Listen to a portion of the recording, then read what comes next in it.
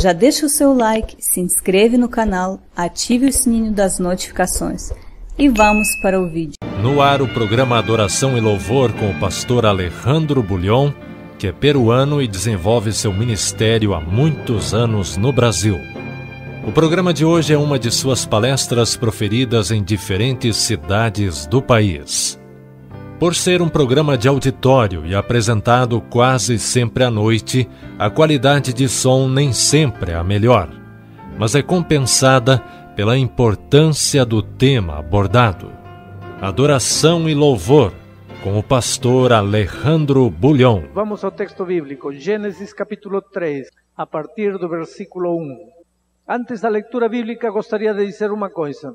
Ontem a mensagem explicou como o mal teve início lá nos céus.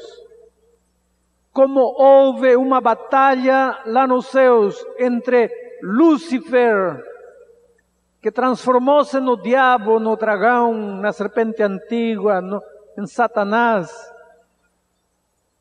A batalha que houve nos céus entre Lúcifer e a terceira parte dos anjos que conseguiu enganar contra Jesus e as duas terceiras partes de anjos que permaneceram fiéis. E Satanás foi derrotado, diz o texto bíblico. E ele foi expulso do céu, e uma terceira parte dos anjos que ele enganou, juntamente com ele.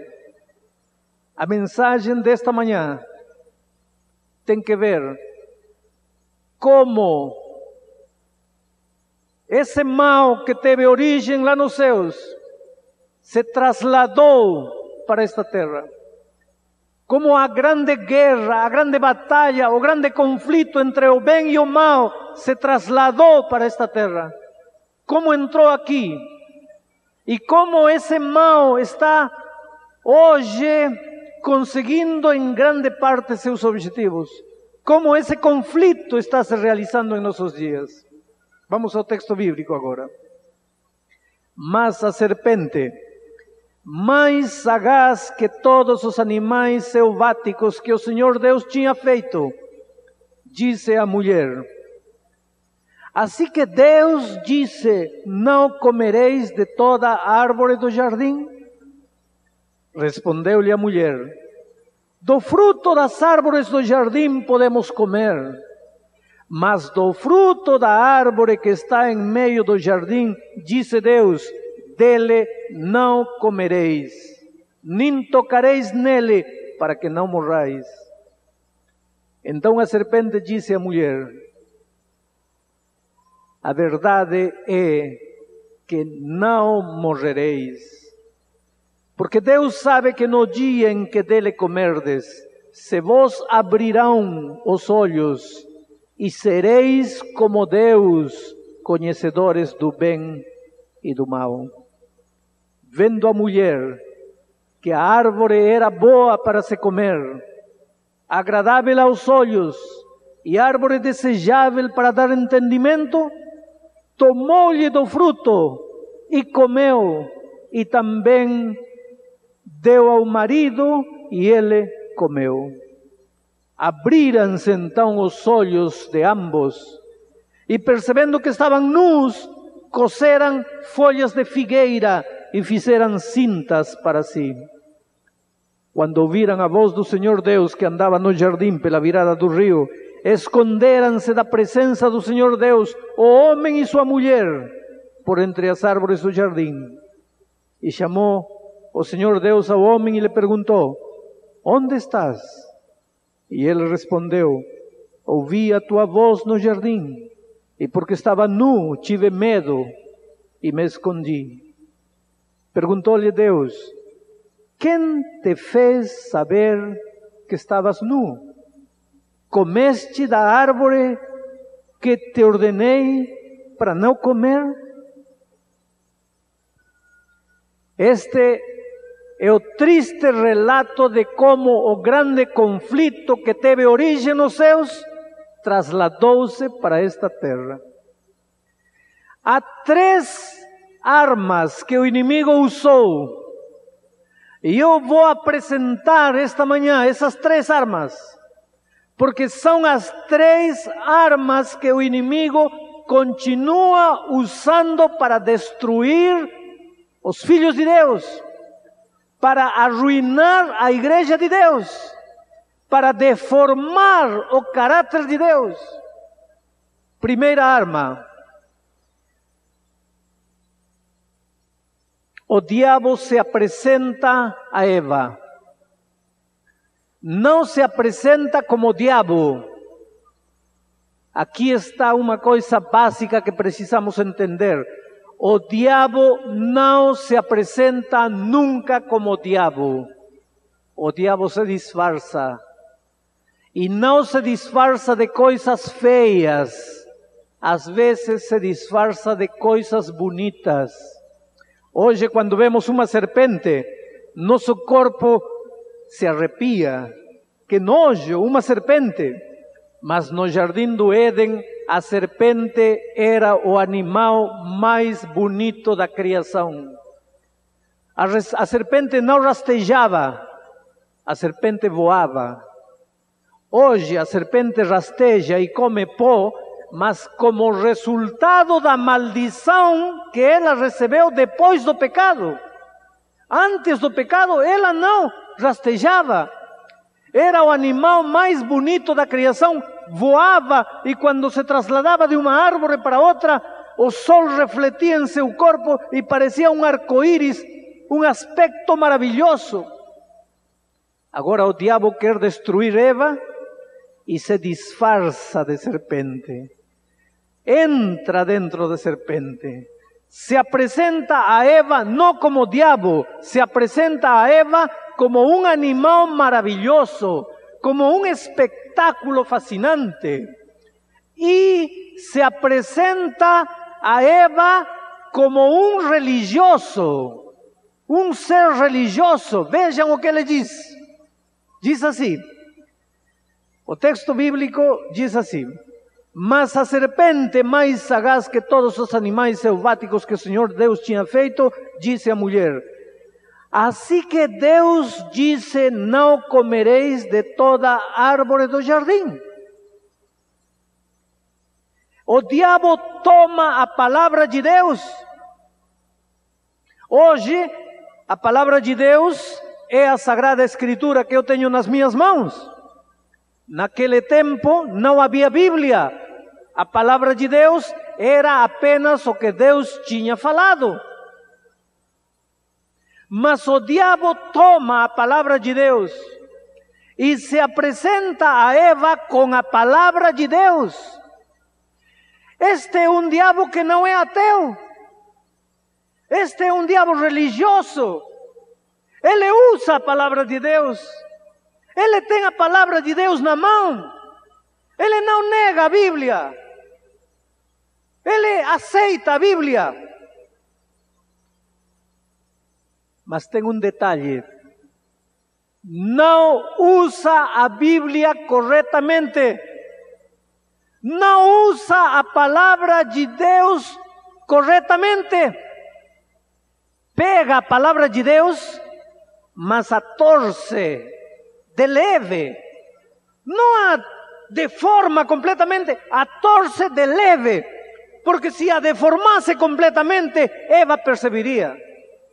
Então toma a de Deus e lhe dá uma, uma guinada de levinho.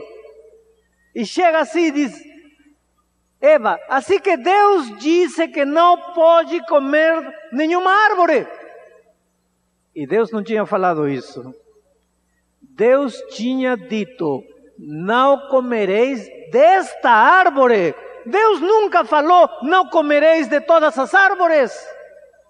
Mas ele pega a palavra de Deus e a torce. Assim foi no jardim do Éden. E assim será ao longo da história do mundo até a batalha final. O diabo, para arruinar a grande maioria, maioria dos seres humanos, ele não vai se apresentar nunca como diabo. Ele vai se apresentar com a Bíblia na mão. Só que vai lhe dar uma torcidinha à palavra de Deus. Aqui diz branco, mas você não precisa ser fanático, você não precisa ser radical, você não precisa ser quadrado. É verdade que está escrito branco, mas vamos, vamos raciocinar. Que importância tem a cor? Poderia ser verde. Você não acha que verde tem mais vida que branco? Você não acha que verde aparece mais do que o branco? Você não acha que o verde é mais bonito? Por que tem que ser você tão radical em defender branco? Tem que ser branco? Não! Pode ser amarelo, pode ser verde. Você vê, ele não nega a palavra de Deus. Ele lhe dá uma leve torcida, uma, uma leve guinada, um leve desvio, quase nada. Amigos queridos, o inimigo, mais do que nunca hoje, vai tentar distorcer a palavra de Deus. O inimigo já tentou destruir este livro. Durante séculos, uma pessoa que lia a Bíblia era perseguida, era queimada viva, era aprisionada era considerada herege por, por ler a Bíblia, por estudar a Bíblia. E durante a Revolução Francesa foram recolhidas todas as Bíblias dos lares e levadas à praça, e na praça queimadas toneladas de, de Bíblia. Este livro de Deus, que a palavra de Deus, já foi perseguida pelo diabo. Mas o diabo descobriu que quanto mais persegue aos filhos de Deus que estudam a Bíblia, mais os filhos de Deus estudam a Bíblia. Então o diabo abriu o olho e disse: Ah, não, não, não, não, não, não. Este negócio de perseguir a quem estuda a Bíblia não está dando certo, porque quanto mais persigo, parece que eles mais teimosos se tornam e mais continuam estudando a Bíblia. Então vou usar outra arma, a mesma arma que usei no jardim do Éden. Vou usar a arma da, vou usar a palavra de Deus, mas vou fazer crer aos seres humanos que a Bíblia não é para ser levada tão a sério como eles estão levando que a gente pode mudar alguma coisa, que a humanidade mudou, a cultura mudou, as gerações mudaram, então por que nós não podemos mudar um pouquinho também? Por que temos que ser tão radicais? Por que temos que agarrar-nos de uma cor, de um dia, de uma festa, de uma. Por que tanta coisa? Por que não lhe damos uma mudadinha assim de leve? Qual é o problema? Estamos crendo na Bíblia, creemos na Bíblia, lemos a Bíblia, estudamos a Bíblia, consideramos que a Bíblia é a palavra de Deus, mas não precisa ser levada tão a sério. E hoje, queridos, o inimigo está conseguindo o que queria, inclusive com pessoas como nós, que nos chamamos cristãos. Quando alguém te faz crer, que você pode tomar da Bíblia algumas coisas e outras coisas não, pode crer que isso não está vindo de Deus. Porque quando São Paulo escreveu a, a Timóteo, disse assim: toda a Escritura foi inspirada por Deus, toda ela, toda. Os princípios bíblicos são eternos. Seca-se a erva, diz Isaías, a flor murcha, tudo passa na vida, mas a palavra de Deus permanece para sempre. E Tiago diz: porque em Deus não existe mudança nem sombra de variação. Deus é eterno, ontem, hoje e pelos séculos. Sua palavra é eterna. As pessoas podem morrer, as plantas podem murchar, a erva pode se secar, dias e meses podem vir um atrás do outro, mas a palavra de Deus permanece para sempre. Aí o inimigo vem e diz: Mas não seja tão quadrado, não seja tão radical. Que que é isso? O que importa é amar a Deus. O que importa é louvar a Jesus. O que importa é cantar hinos. O que importa é reunir-se na igreja. Agora, isso de, de, estar levando a sério cada coisa da Bíblia, não, não precisa. Mas essa não é uma ideia que ele está usando agora. Isso nasceu no jardim do Éden e está vindo até nossos dias. Segundo engano do inimigo. Eva. Assim que Deus disse que você não pode comer da árvore porque se você come você vai morrer. Sim, é verdade. Deus disse que se eu comer eu vou morrer. E aí vem o segundo engano. Eva, você não vai morrer. Não morrerá. Ninguém vai morrer. Não existe morte. Existe passagem para uma nova vida. Deus disse morrerá. Pois eu te digo, não morrerá. Porque não existe morte. Porque quando o homem morre, disse a serpente, o corpo pode morrer, mas o espírito não morre. O espírito sai e se reencarna. Ou então vai para o purgatório, purgatório, ou vai para o paraíso. O espírito vai vagueando. Então você pode, numa reunião com uma toalha branca e uma vela, chamar e o espírito volta. Você pode conversar com os espíritos dos mortos. A alma nunca morre. A alma sempre vive. A alma se aperfeiçoa, a alma se reencarna. Não acredita nesse negócio de que quando o homem morre, morreu. Não!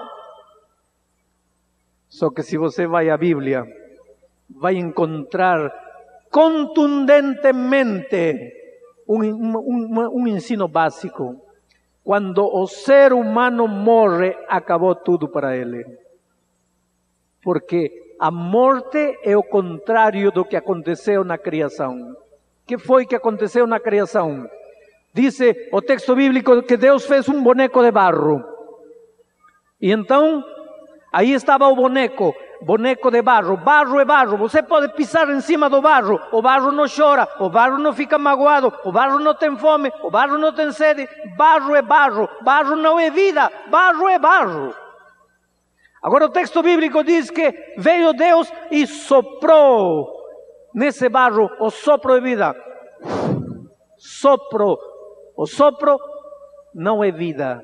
O sopro não sente.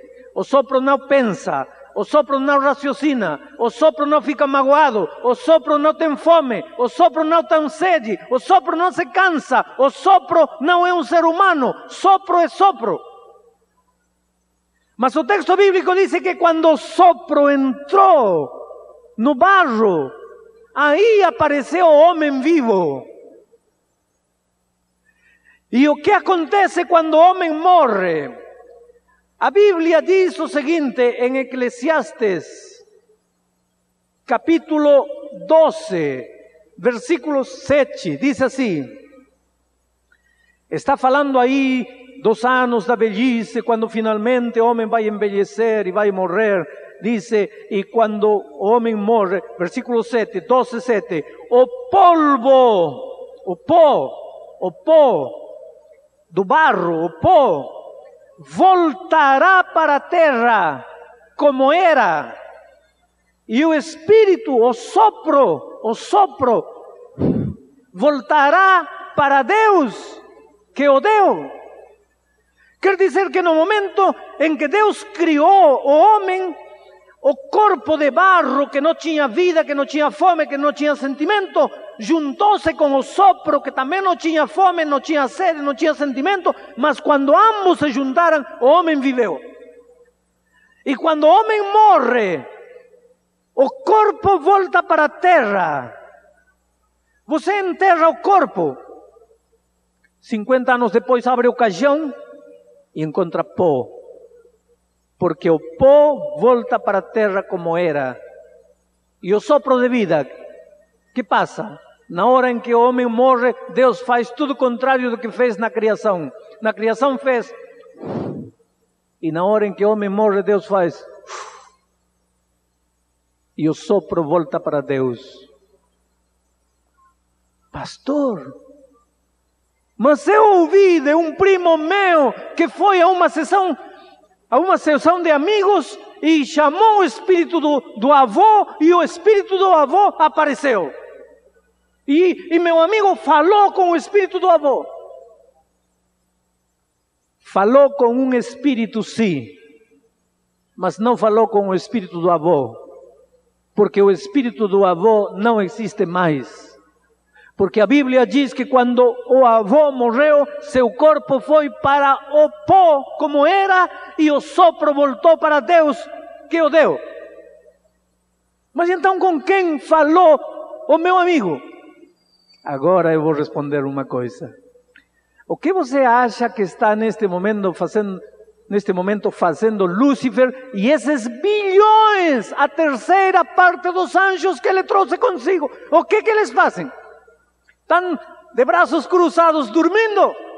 Não, eles se movimentam, eles se disfarçam, eles aparecem, eles enganam, eles fazem prodígios, eles fazem sinais, eles fazem coisas maravilhosas, coisas espetaculares. Ontem eu já li e vou repetir agora a leitura. Veja, veja, vejam, vejam o que diz aqui. A leitura de Apocalipse capítulo 16, quando se prepara o terreno para a batalha do Armagedão. Capítulo 16 de Apocalipse, versículo 13, diz assim: Então vi sair da boca do dragão, o dragão o diabo, da boca da besta e da boca do falso profeta, três espíritos imundos semelhantes a rãs, porque eles são espíritos de demônios, espíritos de demônios operadores de sinais, fazem maravilhas, fascinam, fascinam, seduzem, impressionam. Você fica louco vendo os sinais que eles fazem e se dirigem aos reis do mundo inteiro com o fim de ajuntá-los para a peleja contra Jesus. Sinais. Morre alguém famoso, e depois que ele morreu, aparece uma moça dizendo: Antes dele morrer, eu tive um caso com ela e fiquei grávida. Agora vamos à televisão e diante da televisão aparece uma mulher e fala com o espírito do famoso. E tiram a fotografia do espírito. Sinais! Operadores, espíritus inmundos, operadores de sinais espectaculares. Aí o espírito do médico tal se encarna num, num, num homem simples e esse homem simples começa a fazer grandes cirurgias, cura câncer, cura tudo, sinais. Quando aquele cantor famoso morreu, seu corpo foi para a terra e o sopro de vida voltou para Deus. Não existe espírito. E a foto de quem é?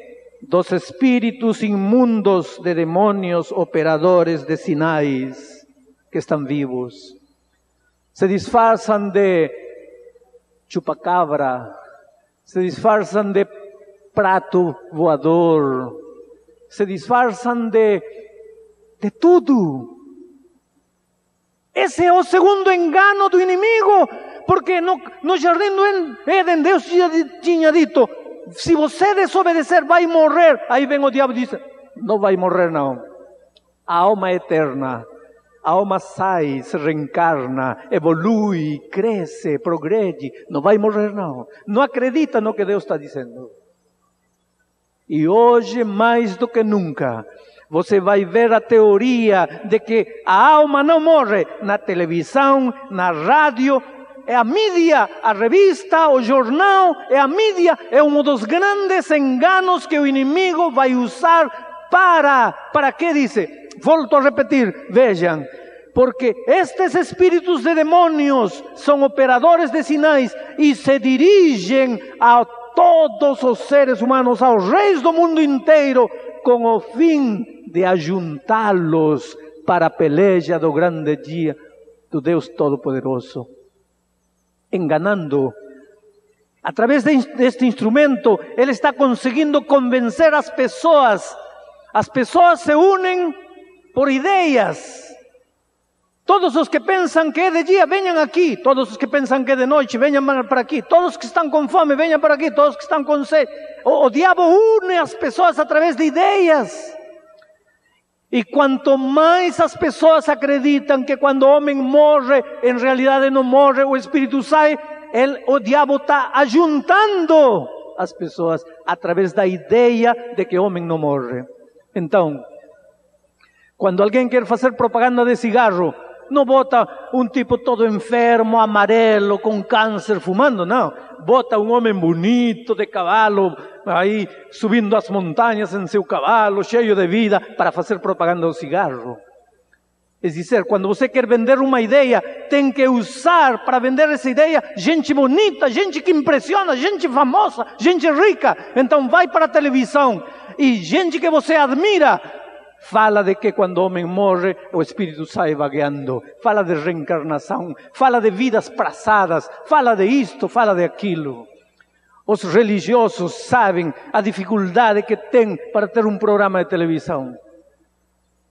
Irmãos evangélicos que estão me ouvindo, sabem a dificuldade que, que temos para pagar um programa de televisão e assim mesmo nos dão lá pelas quatro da manhã, às cinco da manhã, às seis da manhã, quando todo mundo está dormindo. Agora, no horário nobre, às 20 horas, numa novela transmitida com grande audiência, aí entra a grande mensagem. O homem, quando morre, não morre, o espírito sai, se reencarna, vidas passadas, evolui, cresce. A mensagem verdadeira da Bíblia, escondida, oculta. E a mensagem do inimigo: não morrerás, pregada, proclamada, escrita. Um escritor escreve e vende 20 milhões de livros com a mensagem: O homem, quando morre, não morre, a alma sai e se reencarna e evolui. Terceira mensagem. Essa é a segunda mensagem. E a terceira mensagem: O diabo vem onde Eva Eva, você além de não morrer, se você comer, você vai ser Deus. Você não precisa estar adorando a Deus, você vai ser Deus. E que ideia maravilhosa! Ah, eu pensava que precisava de um Deus, agora você está me dizendo que não preciso de Deus, que eu posso ser meu próprio Deus. Claro, Eva, você pode ser seu próprio Deus. Por que tem que estar adorando a um Deus que está lá nos céus? Deus pode estar em tudo. Deus pode estar na planta, Deus pode estar no pão, Deus pode estar no ar, Deus pode estar na água, Deus pode estar na areia, Deus pode estar na pirâmide, Deus pode estar na, na cruz, Deus pode estar em tudo. Sabe por que, Eva? Porque Deus não é um Deus pessoa. Deus é uma energia. E a energia você encontra em qualquer lugar. Por que tem que estar adorando a um Deus pensando que Deus é uma pessoa que sente que não, Deus é uma energia. E hoje, mais do que nunca, se ouve a energia. Alguém se encontra, eu senti que você tem uma energia especial. Fulano de tal tem uma energia especial.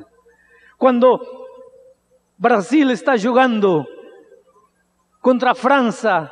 Faltam 15 minutos, está perdendo 3 a 0. Nos agarramos todos da mão para a energia. para a energia de aqui do Brasil ir para lá, para fazer jogar bem os jogadores. Energia.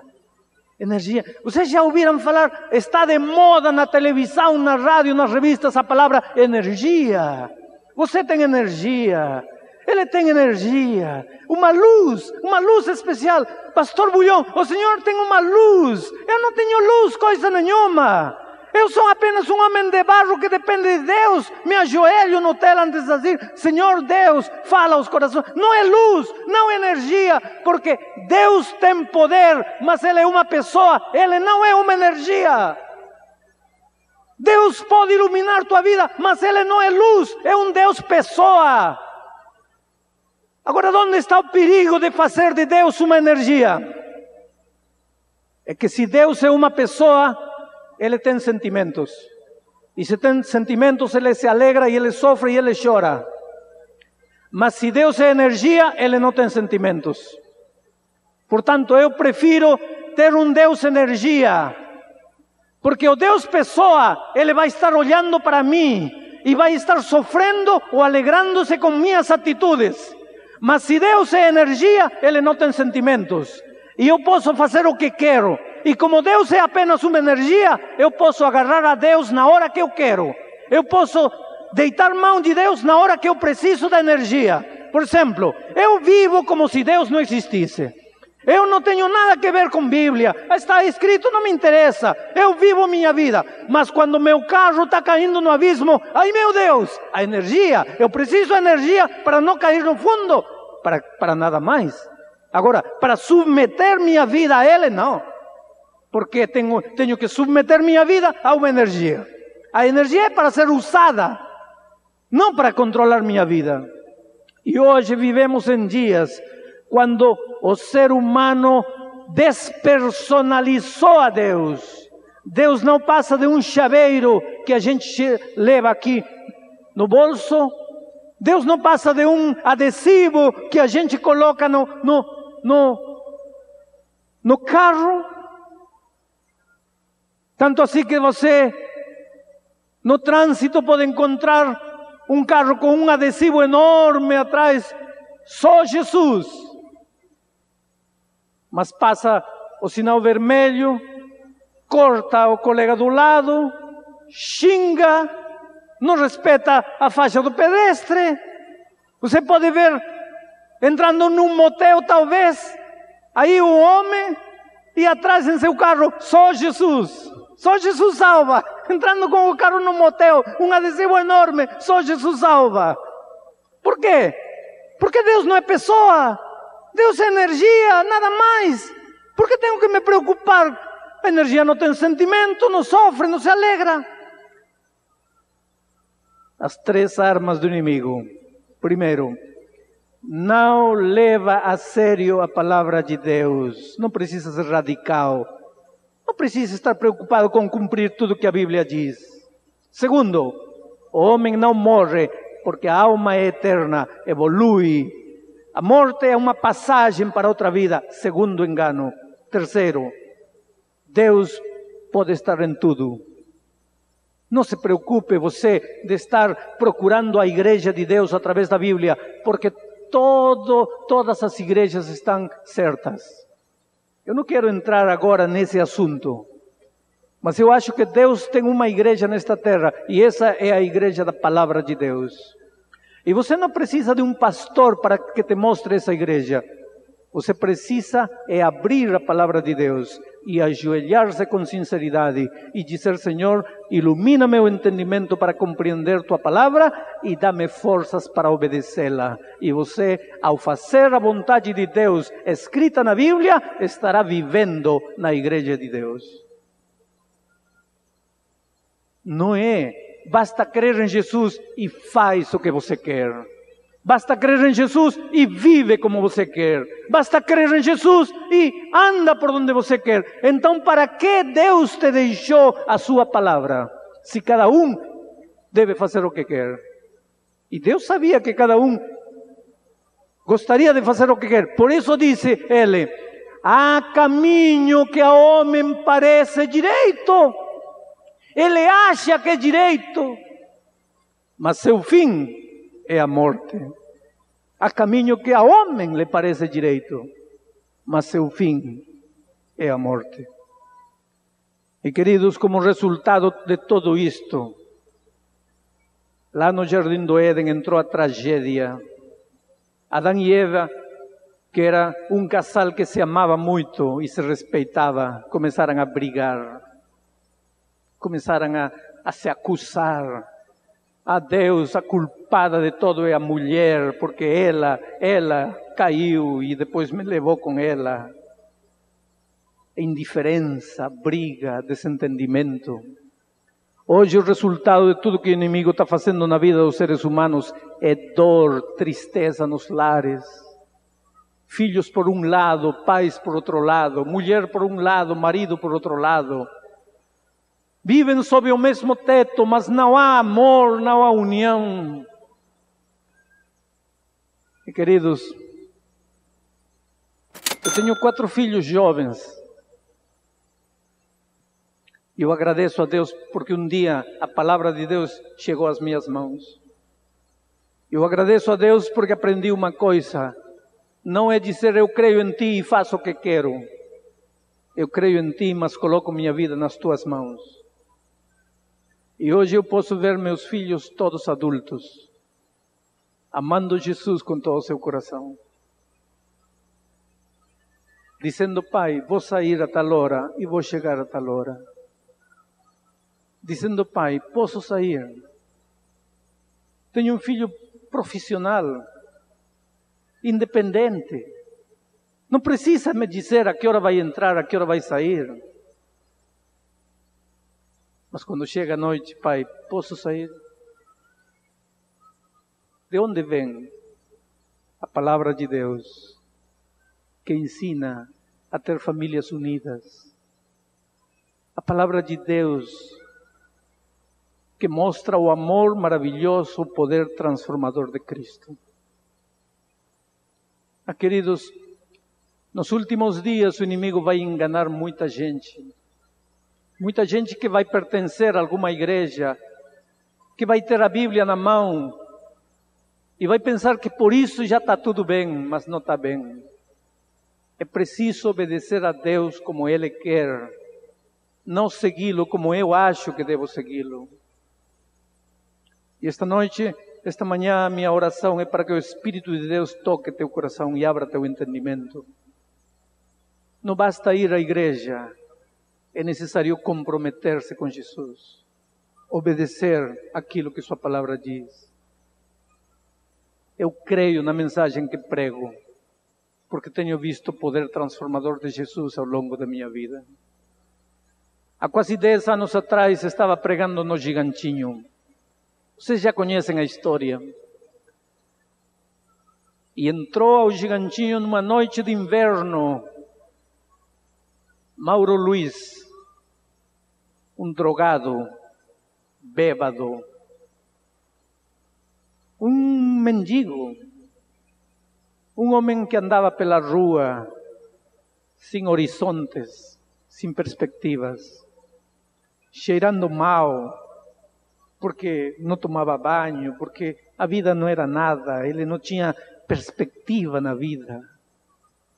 Ele entrou, subiu lá atrás. O gigantinho estava repleto de gente. Mas quando ele sentou, as pessoas saíram porque não aguentavam o cheiro horrível que ele emanava. Bêbado, embrutecido, entrou aí somente porque o auditório estava aberto, mas entrou e o Espírito de Deus o tocou aquela noite. E eu disse em algum momento ao sermão: Você é a coisa mais linda que Deus tem nesta vida. E ele olhou para si, imundo, sujo, cabelos sujos, unhas sujas, roupa imunda olhou para si e pensou: como posso ser a coisa mais linda que Jesus tem nesta terra? Como posso ser? Mas ele disse: Pastor, o Senhor pregava com tanta convicção que eu acreditei no Senhor. E quando terminou a reunião, ele disse: Eu vou acreditar se eu sou a coisa mais linda para Jesus, se esse homem me receber. E eu tentei entrar, mas não me deixaram entrar. Não me deixaram chegar perto do Senhor. Me impediram a entrada. Eu já estava voltando triste. Quando de repente vi descer da plataforma do palco a Sonete. Bonita, cheirosa. E ele disse: Eu estendi a mão para Sonete, assim imundo como estava. Pensando em meu coração, ela nem vai olhar para mim. Mas Sonete me deu a mão e me abraçou. E naquele abraço eu senti que Jesus me estava recebendo, que Jesus me estava abraçando.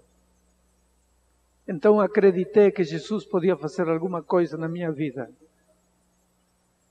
E me entreguei a Jesus. E saí do gigantinho dizendo: nunca mais eu vou ser o homem que eu fui. Mas como um homem bêbado, alcoólatra, drogado pode deixar essa vida? Eu não sei como. Eu sei que se você entregar sua vida a Jesus, Ele faz maravilhas na tua vida. E foi o que, foi o que fez na vida dele. E há uns três, quatro anos atrás, quando eu preguei no, no Gigantinho, novamente, eu apresentei ele. Sete anos depois, da grande transformação que Deus tinha operado em sua vida. E ele me disse: Agora eu sou um dos principais palhaços de um grande circo. Sou um artista e vivo bem. Mas alguém se aproximou dele e disse: Mas se você entregou a vida a Jesus, você não pode ser palhaço, não pode trabalhar no circo. E ele pediu a Deus: Senhor, me mostra outro caminho, então o que devo fazer? E esta manhã ele me deu uma surpresa. Me disse, pastor, eu comecei a estudar artes plásticas e me formei. Sou um artista plástico. Encontrei um irmão na igreja que me apoiou nos estudos e me está apoiando no início da minha carreira profissional. E ele me mostrou um quadro maravilhoso que ele pintou.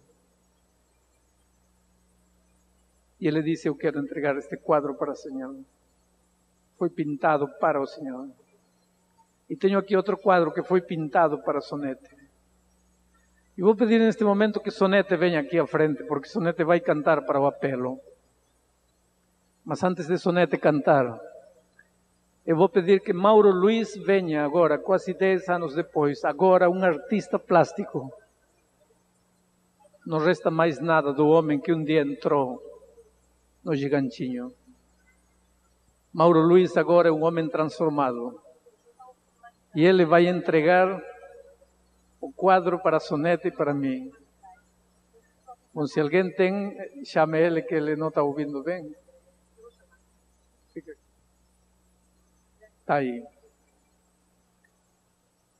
Por isso acredito no Evangelho que prego, porque Deus é capaz de transformar vidas. Deus é capaz de tocar o coração das.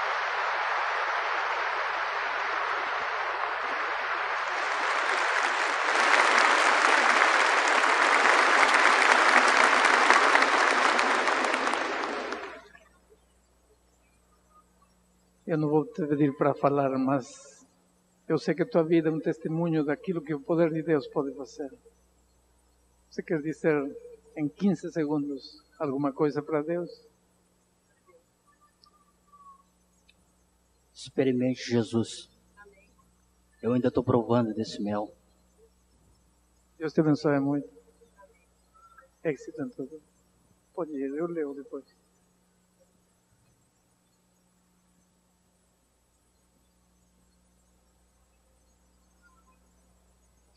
Que Deus te abençoe.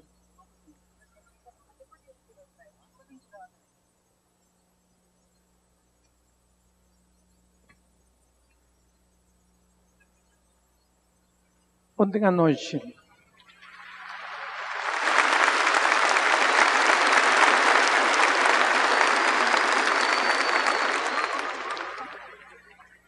ontem à noite, um pai entrou emocionado a, ao camarim e me disse, pastor, eu não tenho palavras para lhe agradecer. Minha filha ficou durante 10 anos fora da igreja. Eu pensei que tinha perdido minha filha para sempre. Mas no ano passado, num dos sermões que o Senhor pregou, minha filha se levantou e foi à frente. E este ano tem sido o ano mais lindo da vida dela. Amando Jesus com todo o seu coração. Eu quero chamar a essa menina que está aqui. Vem cá. Porque eu quero mostrar outras coisas lindas que Deus, que Jesus faz na vida das pessoas. Ela não se arrepende de um ano atrás ter se levantado e vir à frente. Hoje pode falar do amor Jesus transformador na vida dela. Por isso acredito no Evangelho que prego.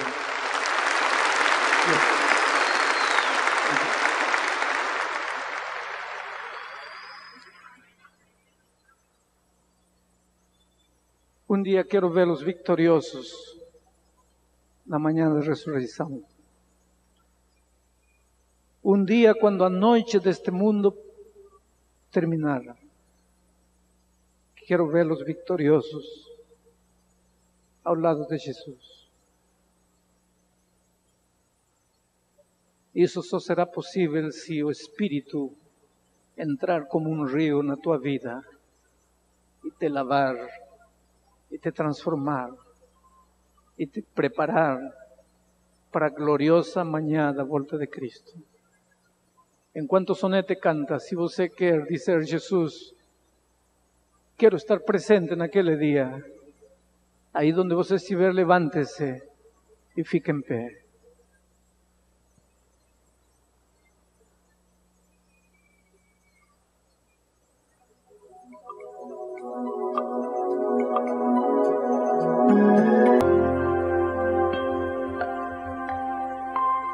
Oh querido Pai, que a tua paz repose na vida de cada uma das pessoas que se levantou. Que as águas do Espírito arrasem sua vida, limpando, purificando e transformando. E que quando Cristo aparecer nas nuvens dos céus, nenhuma destas pessoas falte. Que todos possamos ter a maravilhosa experiência de viver a teu lado para sempre. Em nome de Jesus Cristo.